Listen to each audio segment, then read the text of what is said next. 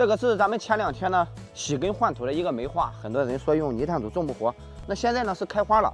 即使是现在开花了，过的肯定评论区又会有人说，哎，开完花就得死，你知道吗？你永远就是怎么说呢？就是虽然说泰森很牛逼，他一拳就这种一拳打上去看起来软绵绵的，虽然说 这一拳下来能把我打死，但是我死的时候嘴还是硬的。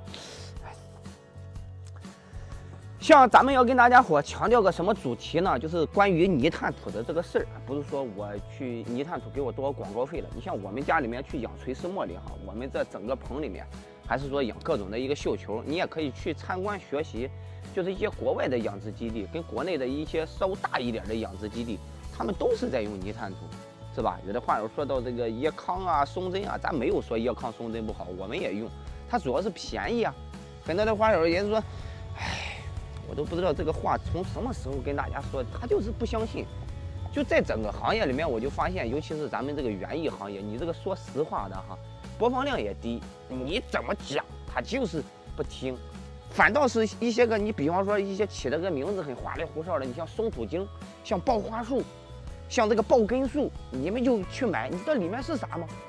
有的话我直播的时候老找我，老万一有没有生根粉？生根粉我们也用，我们只有在扦插的时候用一些。我们日常养护它不用生根粉，您知道吗？土这个事儿不知道是给大家说过几万遍了哈，就这么个玩意儿。有的话说桂花不行，桂花不行，桂花搁那开花开的好好的。就好几年前有人说绣球不行，现在我们大棚，我们在北方的两百六十多亩的基地，百分之九十九的都在用泥炭土养多肉，养绣球。那你那不也活好好的吗？不要再犟了，行吗？泥炭土，我跟大家伙说过无数次了，就是咱们看以前前辈留下来那种书籍，他们说的那这个腐殖土就叫泥炭。为什么叫泥炭？泥炭它进口过来是按照这个矿产资源进口的，按照燃料进口的，它叫泥炭而已，它就是腐殖土。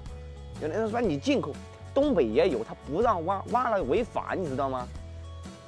行了，行了，行了，就言尽于此了，你是。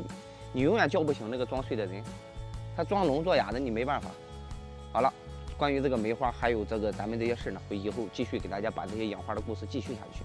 喜欢的话点个关注，我是老花一，养花最专一，来了。